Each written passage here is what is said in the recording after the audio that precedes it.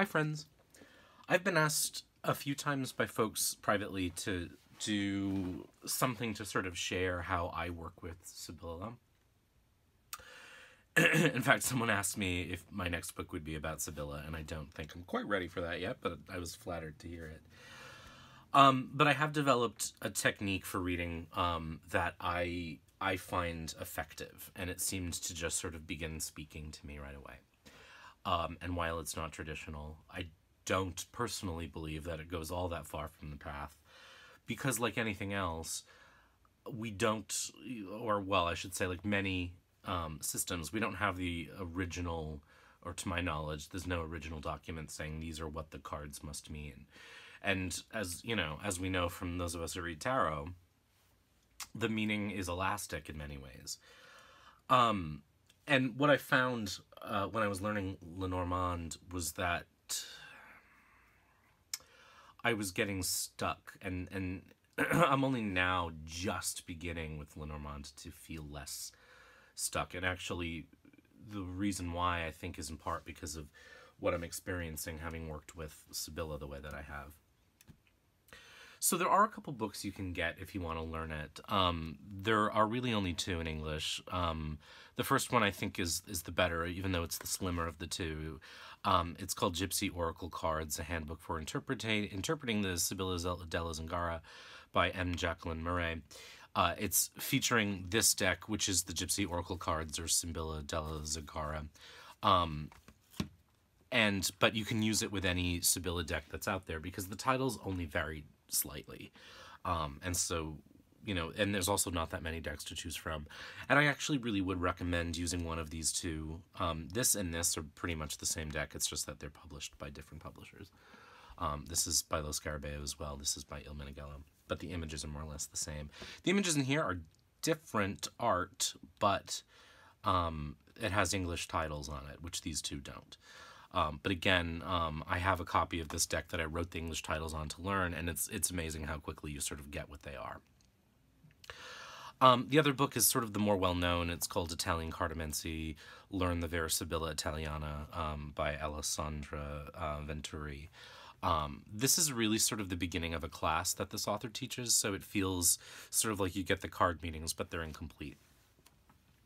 Um, so if you really want a book, I would recommend the first one um, until maybe something more complete comes out. But I actually will, you know, say, as I always say when I talk about Sibilla, um, is um, I don't know that you necessarily need a book um, because once you understand what the cards mean, um, you, it's all about practice. And what the books are going to tell you is what the cards mean. But what I have found is that the cards in Sibylla pretty much are what they are. Um, it's a fairly literal system. So, you know, and what we're going to do is I'm going to sort of talk, talk about card meaning. Um, and I'm going to make, I think, a series of videos on this because it could take forever. Um, and the, the card, so the card meanings are, are always the hard part um like the start part. That's the part you have to memorize. And any sort of education expert will tell you that sort of rote memorization is like the worst way to learn anything. You want to really learn things through experience. And what's nice i think about this particular system that to me has made it easier than lenormand is um it, it it's sort of like the cards for the most part kind of are what they are. And we'll see that in a minute. And it's just like the the reading skill isn't so much remembering what the card means, but connecting that state or thing to the question and to the reading and to the other cards around it.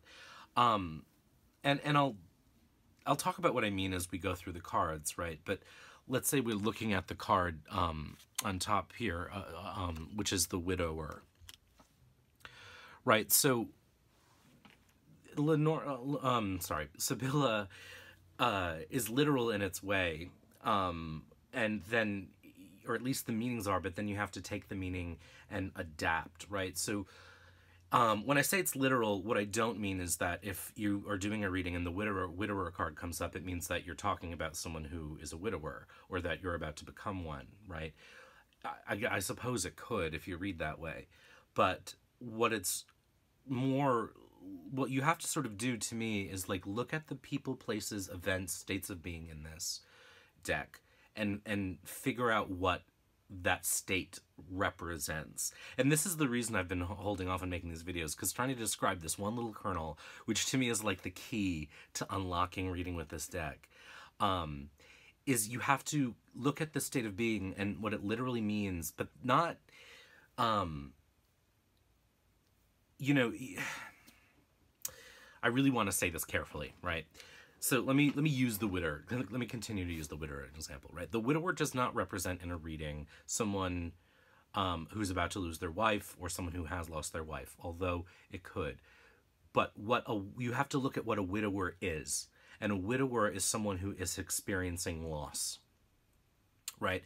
So what I try to do with the people, places, and events and states of being in this deck is to drill down. So I take the card at its face value. I have the widower, but then I drill down and look at what that means in a more generic sense. What is a widower? It's someone who has lost.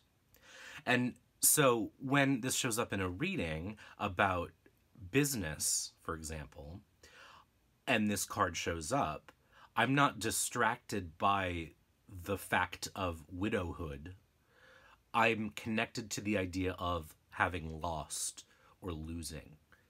Do you see what I mean? So it's the state that's sort of underneath the state for a lot of these cards that I'm really looking at. And we're going to get into that, particularly with the people, because where this deck can be somewhat confusing is with um, kind of the places and the people, I think.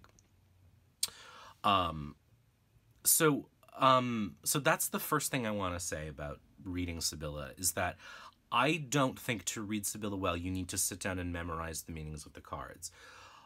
In quotes, what I think all you need to do is to look at what the card represents and drill down to something that applies in many different situations.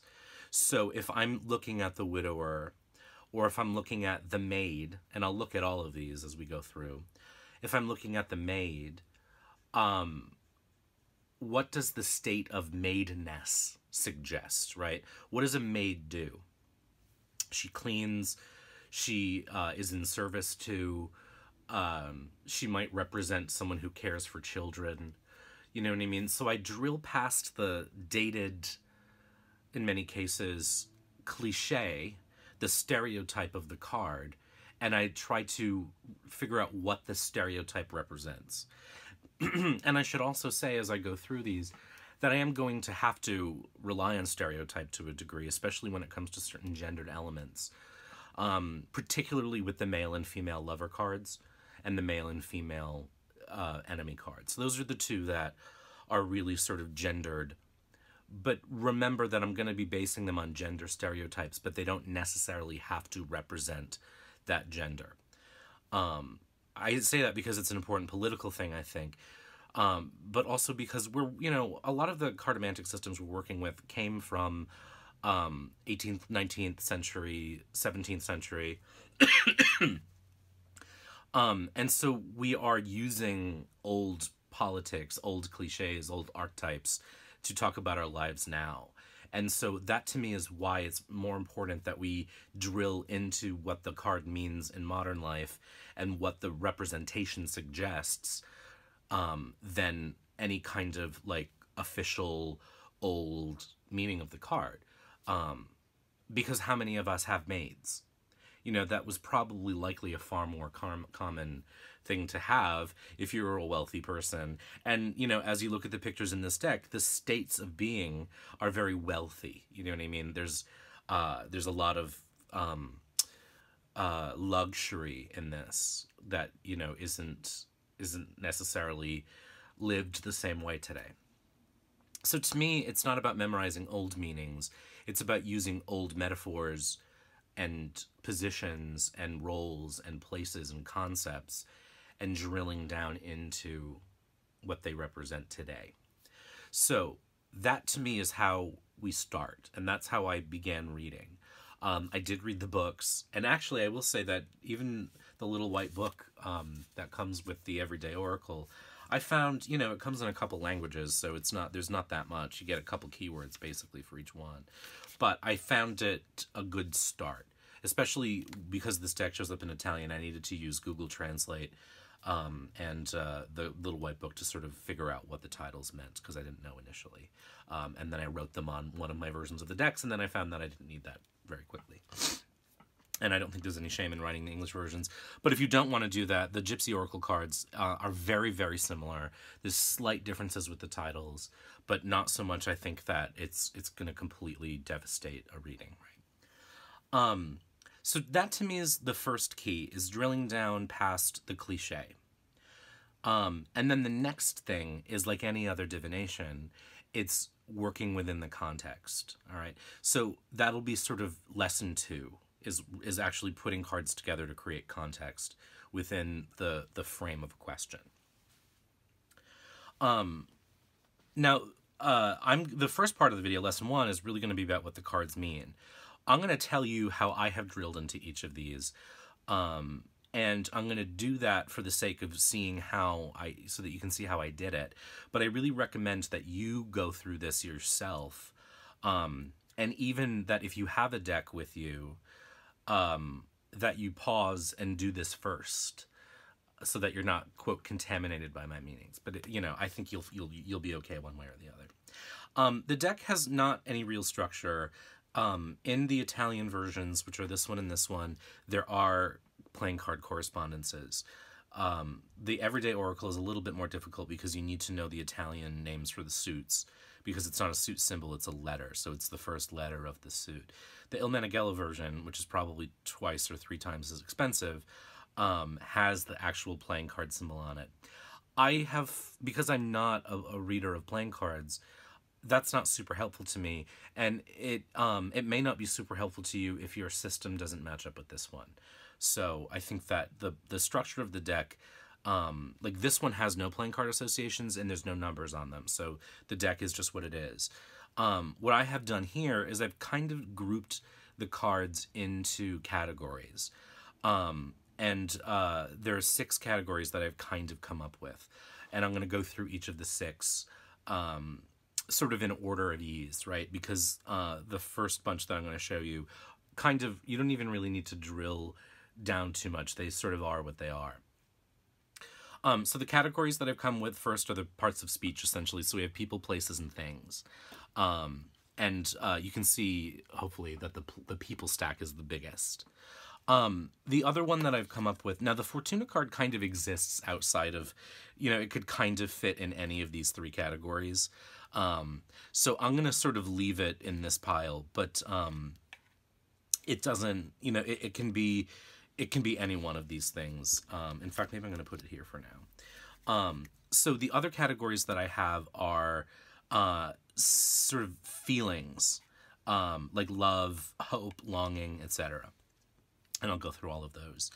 Um, then there are like states of being or or so they're kind of they could sort of fall into the feelings category, but they're a little more um, uh, adjectival, right? They kind of describe a little bit more.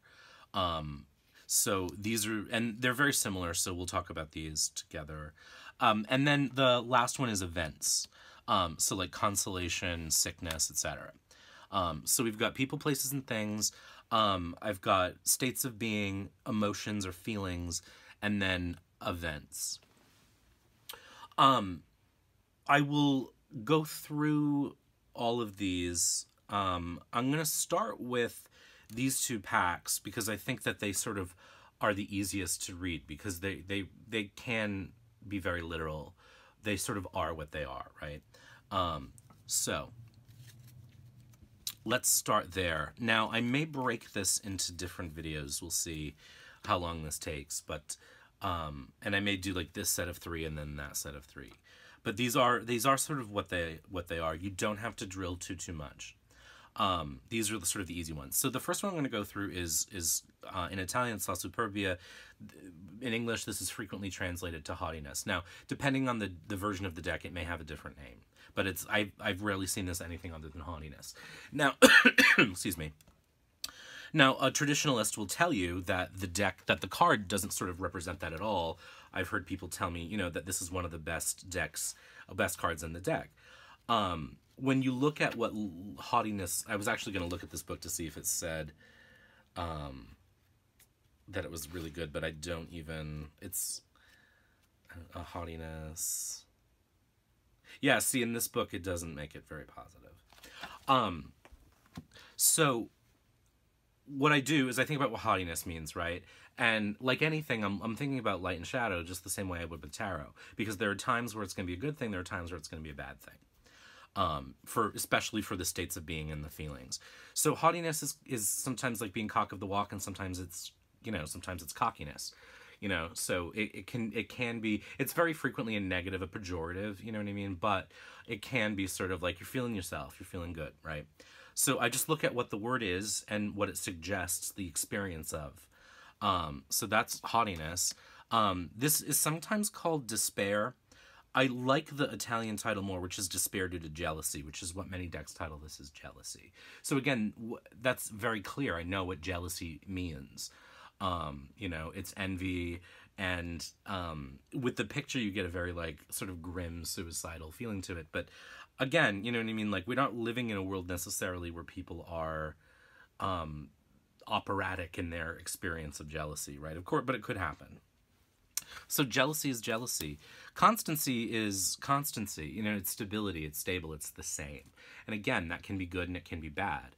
Sameness can be very stable and it can be very safe in a you know in a reading about like is this a good time to start a business stability could be a very good thing for you um you know if it's a reading about why a relationship isn't working then constancy could suggest like boredom and being a stick in the mud so again the feelings the states of being are very literal to me um, this is a deck that uh, i'm sorry a, card that is sometimes called frivolity um, in the Italian translation of this deck, it's called lightness, and I prefer that because you could get a, a sense of, of frivolity, of not taking things very seriously, but you could also get a sense of being carefree, of being um, happy and airy and light, and and you know, in a in a weight loss reading, this would be a really nice card, right? And then finally, we have falseness. Um, and again, you know, falseness is what it is. It's either the wrong answer or being false, being um, two faced, for example. Um, but these are the you know among the easiest to to interpret because you don't have to reach too far. Um, they are what they are, and it's just figuring out later on how those states connect to the question. And these are very similar. So um, I've called these states of being these I've called um, uh, uh, feelings, but they're they're very very similar.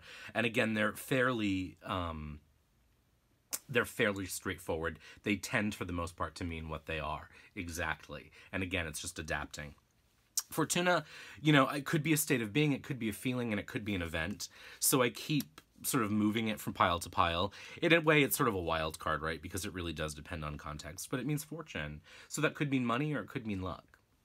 Um, amor love is love and that may be physical love romantic love or just like really wanting something. Um this is uh sospiri which is longing um or sighs. And i think in this deck it's called longing. I like the idea of sighs as a, as a you know as a feeling of sort of wanting. But i think that that's just a really lovely sort of state of like you know, there's a romantic sort of loveliness to that, but it also could be like again, in context, it could be sort of a greediness too, in a way. Um, Speranza is hope, and hope is hope. You know what I mean? It's what you're hoping for, or it's your sense of hope. It's a, you know, it is what it is. Um, melancholy again is there's very sort of like subtleness. This is another reason I actually really like Sibilla is there's just a lot of subtleness you know, there's a lot of cards with similar meanings, but there's very subtle differences. Like longing or sighs is not quite the same thing as melancholy. And melancholy isn't the same thing as sadness or despair, which we'll see later on. You know what I mean? So melancholy, again, is sort of um it's there's a longing to it but there's like a sad longing to it but like it's a it's kind of a delicious sadness you know the state of melancholy is sort of wistful and uh romantic again and um, uh, uh, what's the word I'm looking for? Uh, like wanting the past, um, nostalgic, you know. So there's that there's that sort of lovely you know it's like when we're sad but we're enjoying feeling that way or we're feeling sorry ourselves and we're for ourselves and we're liking it um, there's like a there's a quality of that to me in melancholy now this could be an event or a feeling or a state of being. It's deliriousness. Uh, in this deck it's called pleasure seekers. I included it here because um, it is one of the more broadly interpreted uh, cards. Um, but it's it's drunkenness. Uh, and again like contextually that could be like a fun party or it could be alcoholism right? So we have to sort of look at the context. Um, this is this is often interpreted as sadness. I've also seen it interpreted as anxiety um, and again i let the cards for the most part give me context as to whether it's anxiousness or sadness or despair despair is such a dramatic word right but there's such a broad you know, array of like longing and melancholy and sadness. You know what I mean? We it's not just one thing. So we have some interesting degrees of feeling in um, in uh, Sibilla. Here we have joyous heart, so often called joyousness. So it sort of takes happiness to like a really full-hearted, a heartfelt, a you know, a, a really nice sort of emotionally, you know, empowered happiness. It's not just happiness; it's joyfulness. And there's another card called Cheerfulness later on, which is sort of to me that, but like a little, like more um, banal. You know what I mean? Like joyfulness is Christmas morning for your the first time you see your kids open their gifts. You know, cheerfulness is like hanging out with some buddies. Um, thought again, this isn't really a feeling; it's more a state of being. But it is what it is. It's thought. It's what are you thinking about? It's being thoughtful, etc fidelity or faithfulness. Um, again, this is a card that could be an event or a state of being or a person even because it couldn't represent a friend. But there is a friend card in this deck, so um, it's faithfulness, it's fidelity, it's commitment to. You know, it's it's exactly what it is. Uh, this is cheerfulness, and again, it's sort of just a more like hangy outy fun rather than like the boundless heart expanding joy of the joyfulness card. And to me, it's like this is where the delirious starts, and if things get too far, the deliriousness card go. You know what I mean? Like they are. Um, I don't look at the images too much in this deck, but you know, um, me zoom in for a momento. Um, it's like you get these guys having a little tipple, and then things get out of hand. So, um, it's just you know it's a little amusing thing to me. Uh, whoopsie. All right. Uh, so that's cheerfulness, falseness. Oh, we already talked about that. So that's the end of that pile. All right. So those are the cards that represent sort of state of being or feeling, and um, again, they very much are what they are, and that makes it easy to use them. Um, and that's one reason why I think Sibilla may be um, I'm going to say something controversial, maybe a little easier to start with than Lenormand, and I'll tell you that not everything applies to everybody, right? So for someone like me, I struggled with Lenormand for years. I wanted to read it. Only now, after looking at different cartomantic decks, am I starting to get it. And I may do a video on that too, but I'm not feeling quite ready yet. All right, so that's that. Now the next set are um, events. now, the interesting thing too, I'll get, well, let me just say it so I don't forget. Um, sometimes a thing is what it is, and sometimes it represents something else. So this is particularly true of the next set of cards we're going to look at. Um, the feelings and the states of being. I, I can't think of examples where they sort of have to stretch too far. The events and the the places less the things, definitely the people, sometimes are what they are, and sometimes they represent the feeling of something, and sometimes they are a placeholder for something um, less literal. So we'll, we'll, you know, for example, we have um, consolate, cons- consoling surprise. You know, it's it's it's sort of a weird concept, right? That there's something that arrives suddenly that makes you feel better. Um, it's not literally sort of finding money, and again, there's like a subtlety to this deck where like you might compare this to the sudden wealth card in Kipper, um, or the uh, unexpected income from Kipper. This is like the idea of a surprise or a consoling surprise is more general than that. So it's not just about money to me. You know what I mean? It could be like, uh, you know, and again, depending on what stops by, you know, uh, what stops by, what's near it, you know, you get the delirious card. Some fun, like wacky friends show up uh, and they they make you feel better about something. You know what I mean? But it is what it is for the most part. Um, sickness. Uh, I often frequently interpret not as like illness because I don't read for health, um, but it's it's a state of not being well. So you might think about this as the tree in Lenormand, sort of maybe with the mice next to it. You know what I mean? It's a state of being unwell. Um, conversation you know, again, conversation's conversation. In combina- in combination with other cards, you might figure out what you're talking about, who you're talking about it with, etc.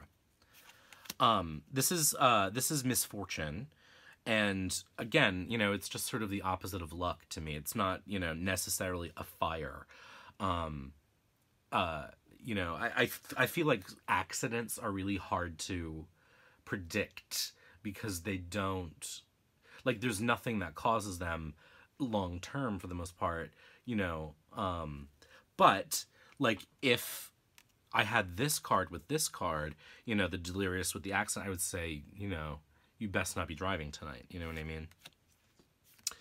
Um, the more the death card or the coffin card is essentially what it means in every other deck. It means a stop, a pause, an end. Um, journey again is a journey. Great um, consolation. Um, again is a state of being consoled um again by money in this case. It's very similar to the um consoling surprise uh and it looks like the same dude actually. Um so again there's a lot of subtlety here but i think about like what a great consolation is. Um it actually makes me think of a uh, like a consolation prize. So you know what i mean? Like you didn't get the thing you wanted but there's something that happens as a result of that that's actually as good or better you know, because it's a great consolation. Um, so like a consolation prize. A reunion is a reunion. Again, you know what I mean? Like you can see how, for the most part, things are what they are. And then finally, wedding uh, or nuptials is again, it could be a wedding, certainly in a romance reading. But I, I tend to look at this as like the ring card in Lenormand. So it's it's a commitment, a connection, a un, a unification, right? Um, so those are the events.